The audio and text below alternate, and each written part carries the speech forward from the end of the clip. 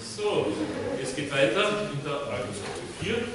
Die nächste Kandidatin ist Christine Sophie Hütter in der Reihenfolge Beethoven, Debussy und Bartok. Viel Erfolg.